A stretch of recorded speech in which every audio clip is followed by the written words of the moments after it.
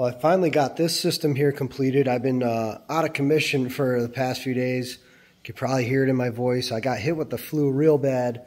Um, so I was I was down, wasn't able to even move or do anything for a few days. So um, we're back at it. I just came out here earlier and wired this system up. Um, had the piping already all done before I, I got sick.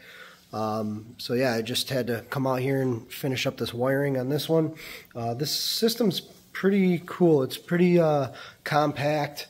This is for a four, uh, well, a single zone four loop um, radiant floor system. Um, this is going to be mounted up on the wall, of course, but the idea of this was uh, there's an addition going on um, next to the basement where this will be mounted.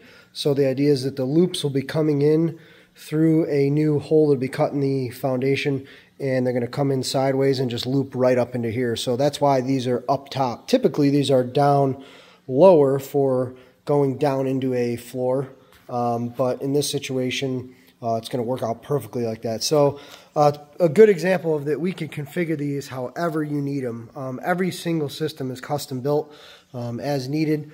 So all my customers give me their inputs. They tell me what they, whether it's their preference or, or maybe sometimes they want uh, a recommendation from me. But no matter what, we'll figure it out. We'll walk through all of the details, all of the info on your side, and we'll come up with the best plan uh, to, to make a, a, custom system for you. So um, this one has is actually a heat-only system. It's not a combi like a lot of the systems you've seen in my other videos. So um, the difference between a heat-only system and a combi is that you'll notice a few things. Um, for one, there's a lot less stuff going on uh, below the boiler because we're not dealing with domestic hot water, so there's no uh, additional um, service valves for the domestic water.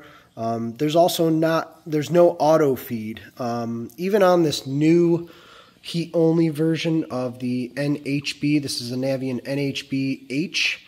Uh, that's the latest and greatest they came out, out with uh, last year. Um, and they what they did make a changes is they added the ability to have three zones internally, whereas the NHB older ones can only control one zone. Um, in this case, it wouldn't matter because it is only one zone.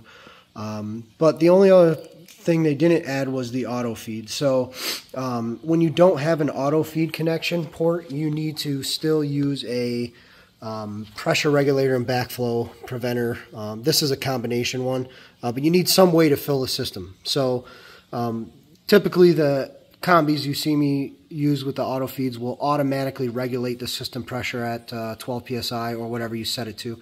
Uh, so you need to add an external um, fill point, which is this. This is a Taco backflow preventer and combination um, pressure regulator that's preset at, from the factory at 12 psi. You can see right here. You just uh, loosen this up, turn this to adjust, but it's preset. It even says it right here, preset 12 psi. So um, that's one difference.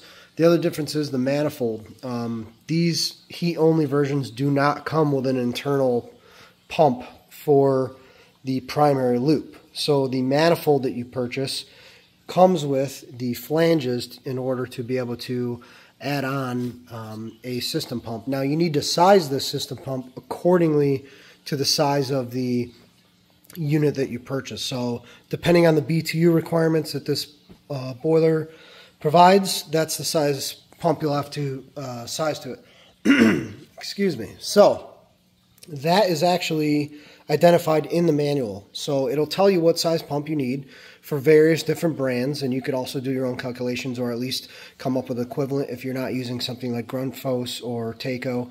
Um, but in this case, it actually is a 0015. You can adjust the speed accordingly as well. Um, this system, I also sized the pump with an uh, 0015 on the secondary loop. So that's what this uh, circulator is here. We'll probably run that on high. Um, for this situation, um, everything I've explained a lot of different videos. There's a lot of different reasons you would choose certain pumps, certain speed settings and whatnot. So those are all part of when we do a design, you know, we run all those calculations and that's something I could walk you through as well if you want me to just simply do a design for you and not build you a system. Um, so yeah, this one's uh, was pretty fun to build. Um, I don't do a well. I, I, do a lot of heat only, a lot of combis, but lately it's just been tons and tons of combi systems, which are great. I have one in my own home, um, but every time every once in a while somebody wants a heat only version. So um, yeah, this system's ready to uh, just get finished up, cleaned up, and um, customer's going to pick this one up in this case. So hope you guys like this video. If you got any questions, of course, leave comments, email me. My contact info is always in the description and on my channel. Um, I guess with that said, we'll see you guys on the next one.